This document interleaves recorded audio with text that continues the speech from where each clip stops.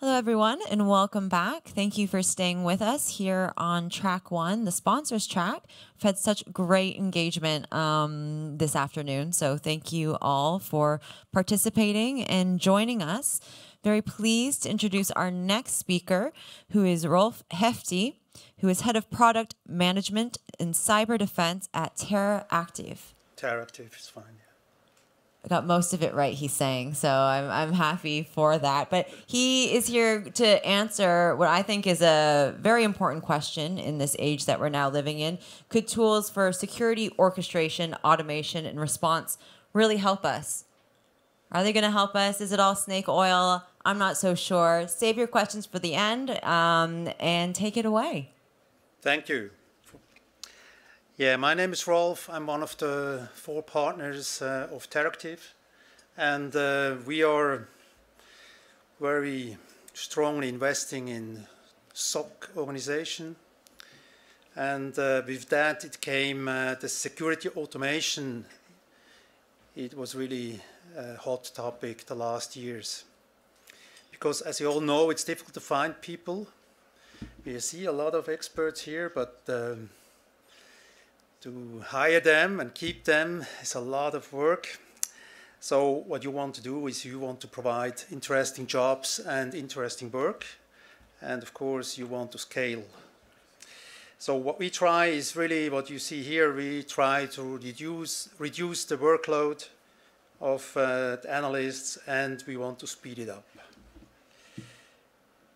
But first, when you introduce that, you talk to the CISO, and he sees SOAR a bit different than an analyst. You know, he sees not only the power, but with the power comes the danger. And of course, typically he sees the risk and not the fun of it.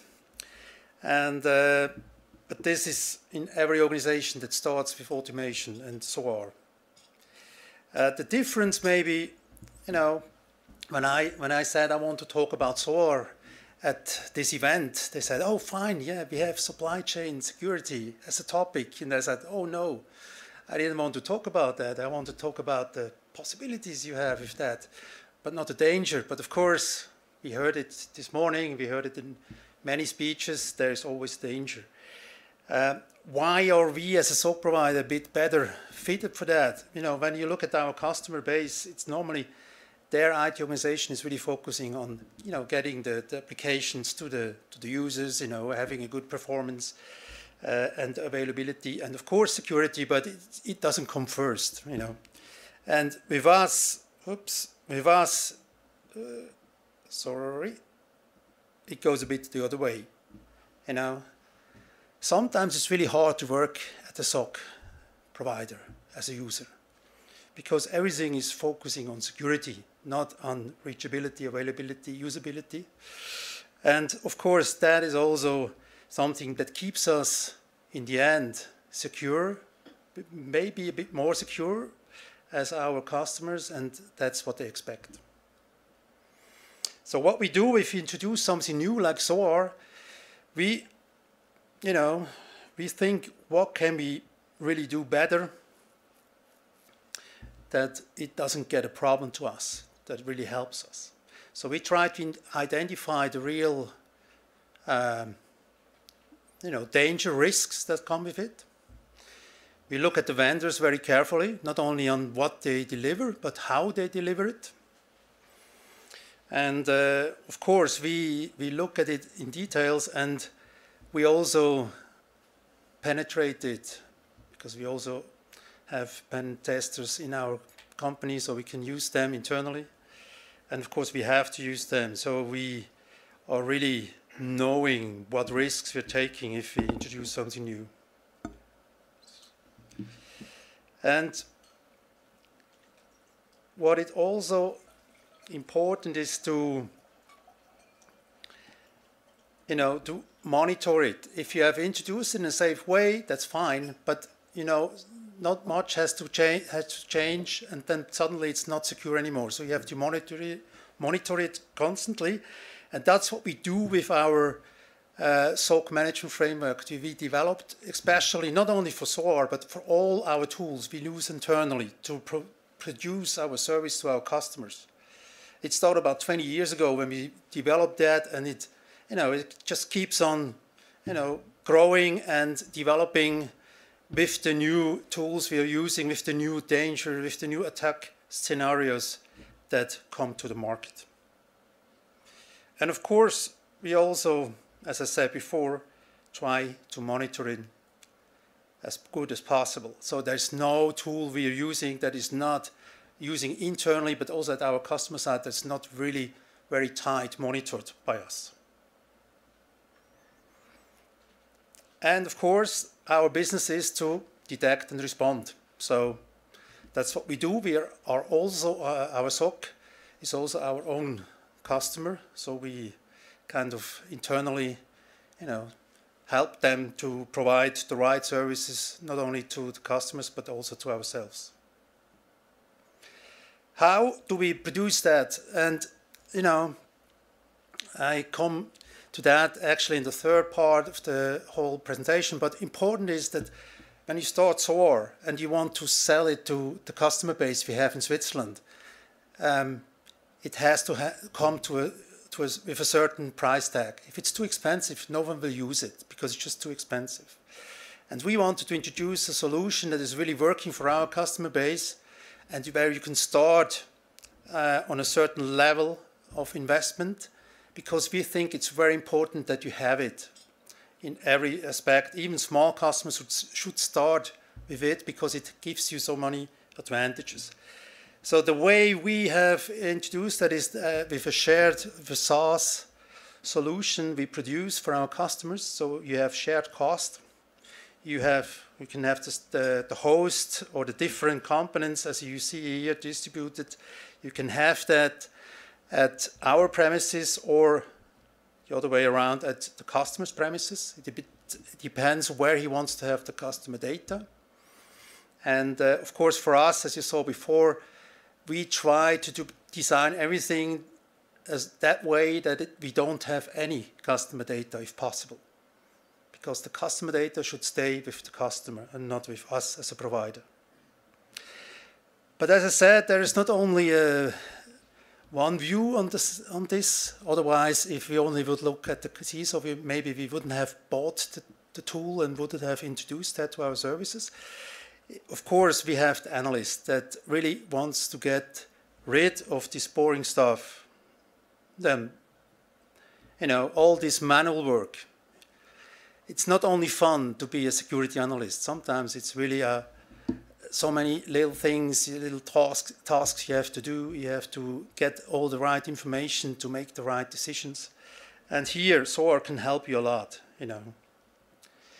It can, um, but it can also help a lot in working together with other organizations. Normally, we build these so-called hybrid SOCs. So we have some folks at the customer, we have some resources in our SOC, but maybe we have also a third party, a partner or someone that is also kind of working together in this hybrid SOC organization. And there the information flow is very important. You know, if someone just does a change, for us it would be alert. And if we have an alert, it costs. Someone is working on it, someone is producing hours, and someone has to pay for it.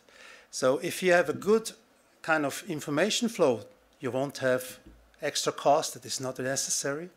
But also, you, you know, we are not a hospital, we are not a bank, we are not uh, uh, insurance, but we work for all these kind of customers. But for us, sometimes it's very difficult, difficult to really understand what's their um, uh, crown jewels. You know, what do we have to uh, really look at? And also here, SOAR can help to you know, get a flow of information which are very important for us as a SOC provider.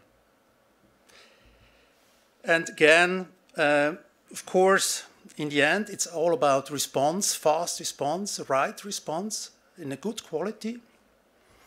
And if we, this is a, it's a simple uh, presentation or picture here, normally people believe, you know, now we have you as a SOC provider, you can do everything for us.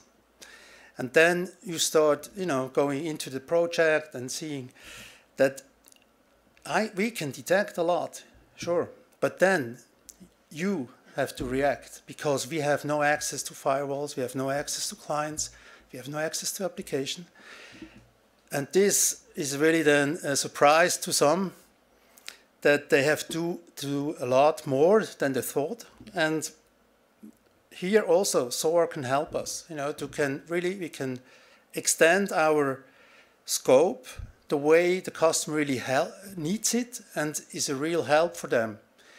Even though we don't need access rights to all the firewalls, for example, but we can give SOAR the access rights to it and we can design a very clear way how we can handle a certain attack, a certain response to an attack.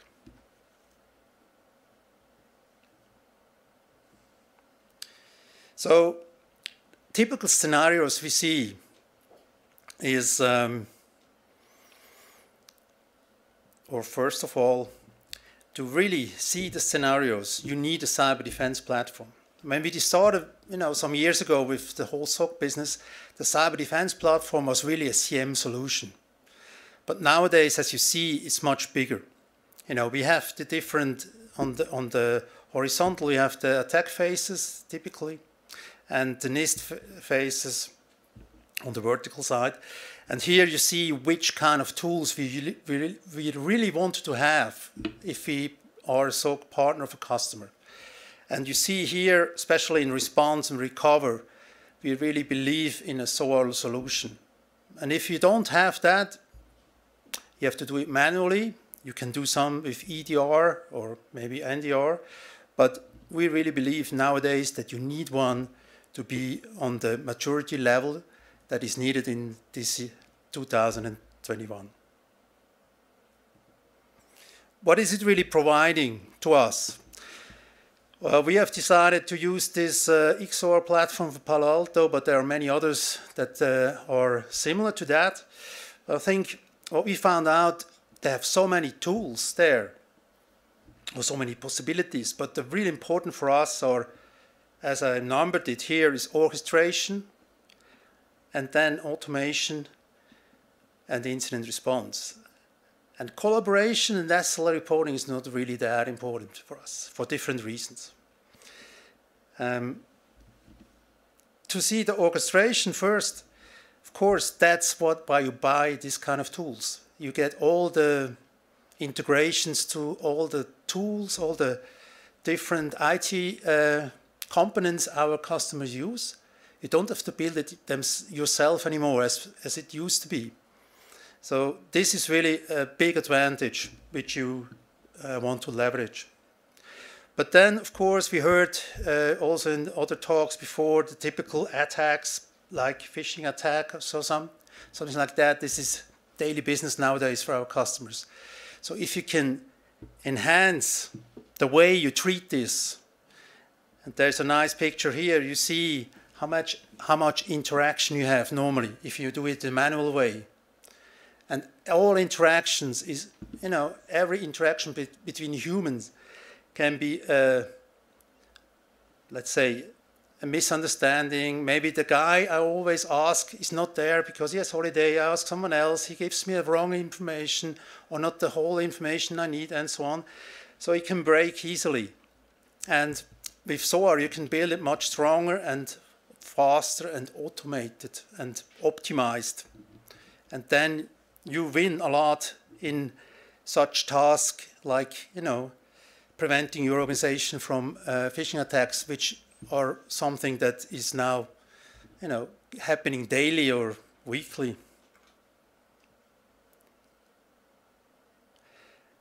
And other really important thing is this automation process between the organizations because it's not only the different um, IT organizations, as I said, in the hybrid SOC, it's also internally. You have these different uh, teams which don't speak that much, maybe, with each other, but then suddenly have to react in a one as a as a one team.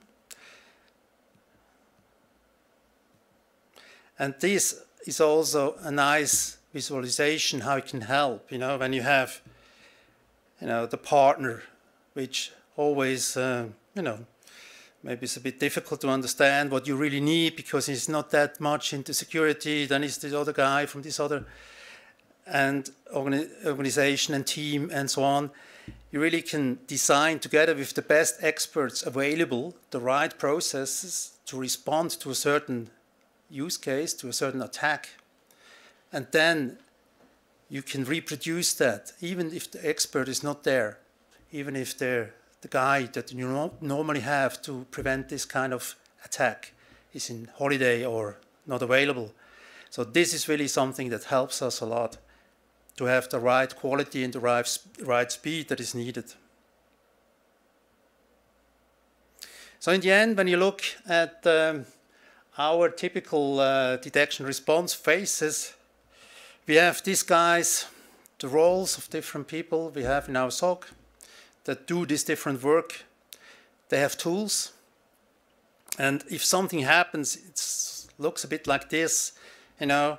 And typically what we see when we, this is really from our customer base now, it's not just uh, a marketing slide.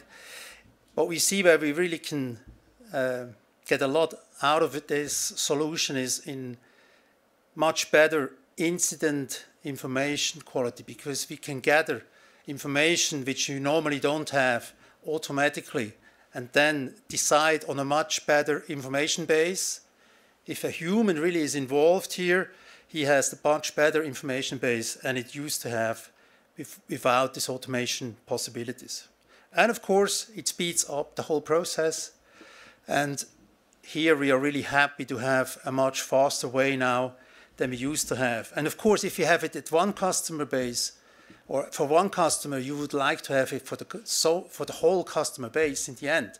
That's why we had the challenge to make the whole stuff affordable to other organizations, not only the big ones. And how did we do that? SOAR for everyone. We made different service modules. So you, you don't have to buy the whole suite. You just buy different models modules, and then you start with the base just to integrate uh, your ticketing system with ours and stuff like that. You, you start the orchestration to integrate the different solutions you want to orchestrate and so on. And then you can add on, depending on your maturity and your resources, uh, with additional modules. And then in the end, it looks a bit like this. We have a customer A they have uh, an integrated engine that allows them the whole orchestration, and then they can add this ticketing integration. Then they can add automation of certain use cases. Then they can add uh, their own users so they can kind of work together on the SOAR platform with us, or they can control us if they want, uh, up to the case management. You know, when we started with that, we believed, oh, case management, cool. Everyone would enable that. But then we found out in the typical customer um, projects that it's too much work for them because uh, it's another ticketing tool. And also internally, they already have a ticketing tool. And we have also ticketing tool. So if you have, of course, a dedicated SOC team, then they can use these SOAR capabilities much better. But if you have guys like they, they do, maybe two guys that work as a SOC hybrid additional team the, at the customer base together with us. For them, it's too difficult to change from their internal ticketing to this uh, SOAR special case management tool and, and back and forth. And then, of course, all the other guys in the IT department are not part of it. They, again, work with the ordinary ticketing tool. And this kind of process problems or breaks of uh, because not everyone could be uh, integrated in this case management, made it very difficult to use this functionality, even though it would be a nice functionality. So in the end, we ended up in, in integrating different ticketing tools. So what you can take away from today is really, uh, it is not really, it's not only marketing, it's really true that you can save some money and resources. For us, uh, we have here a typical uh, Uh, bigger customers, uh, we could do over 9,000 automations for them in a quarter. So if you have only a minute, let's say, for each task here that uh, SOAR did for you, and you have a working day of uh, 8.4 hours, it's about 19 days in a quarter you can save. That's real. And of course, we didn't. It's not only about saving data; it's about getting the the boring stuff done by someone else, and it's also about doing more than you could do with the uh, resources you have. And uh, of course, SOAR is working 724, and uh, our guys still go home at six o'clock or seven o'clock.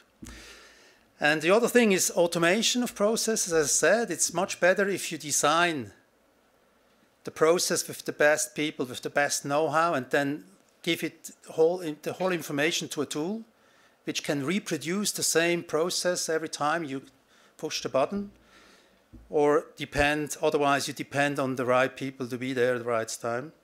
And then the last would be, you know, be faster and broader, so, so you can really help the customer when it's needed. Thank you.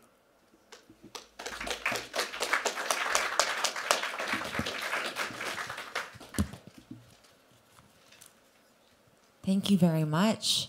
Any questions? Um, uh, we've got about about 10 minutes left till our break. So if anyone has any questions, now would be the time to ask them. Um, I thought that was brilliant. I wonder first, when, when you mention the customer use cases, um, what sectors do your customers normally fit in? Uh, you mean sectors, uh, markets? Mm-hmm. All kinds of, from hospitals to banks to to uh, industrial companies. So a, variety that are kind of because um, you mentioned the, the shifting of the tools to, to fit more of their their need of SOAR. Yeah, I mean, in the end, automation is something you can use for everyone. You know, that's. But in the beginning, we we thought, oh no, it's it's something we introduce if we have uh, everything else in place. Nowadays, we would say oh, we would have to have, we would like to have that in the beginning, because it just is a different way if you know that you have this automation engine here and you can use it. Then you go, you you you start uh, solving problems differently and better. So it's sort of similar to, I mean, that that was actually another question that I had of what what needs to be in place in terms of a security culture at an organization but you're saying it, it now you're viewing it as it's almost better that there's almost nothing in place so that the tool can be used from the from the ground up almost?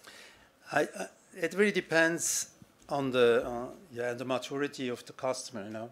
But normally when we start with the customer and, he, and he's blind because he has no clue what's really going on in his company then you start building of course, of course the detection engine and everything like a SIEM like an EDR solution and so on but then, uh, after you see that something is happening, of course, the next thing is you have to react on it. Before, you didn't see it, so you didn't have to react. But then suddenly you see it every day, every hour. And then you should react. And then it doesn't make sense to react manually.